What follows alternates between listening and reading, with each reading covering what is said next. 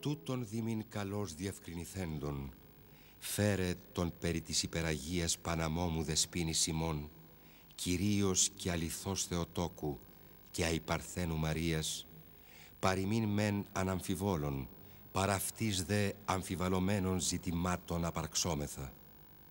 Επειδή ταύτην Δευτέραν μεν Θεού, ου χρονικός λέγω, τη δόξη δε πρώτην πάντων αοράτων και ορατών κτισμάτων είναι πιστεύομεν.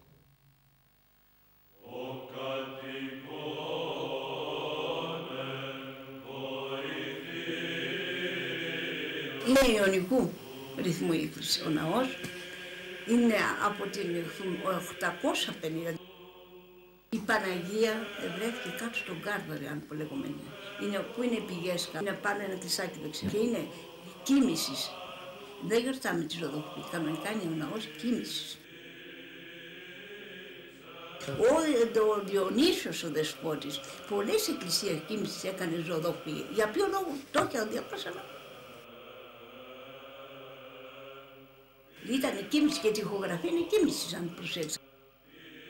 Και το Παναγία γιορτάζουμε κάτω στο κλεισάκι. Η αφατηρία του Μονής είναι από κάτω από το κλεισάκι. Φιλιά που φημολογείται ότι έχει σχεδέψει ο Άγιος Θεόκλητος όλα και δέμα. Ο Αρχιεπίσκοπος, ο Θεόκλητος. Πού είναι γιορτάζει το Καστόρι. Γιατί γιορτάζει, ναι. Μας έχει και, και μια κλίση, εγώ δεν ανέβηκα, είχαν νέες αδερφέ, είχε την κλίση του σώματος και τα λοιπά και είχαν βρει και κάτι ήδη παλιό. Εφημολογείται ότι εκεί εσκήτευσε ο Άγιος Θεόκλητος.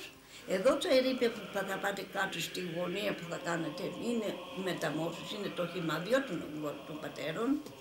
Ήταν πάρα πολύ πλούσιο το μοναστήρι, 23 με 28.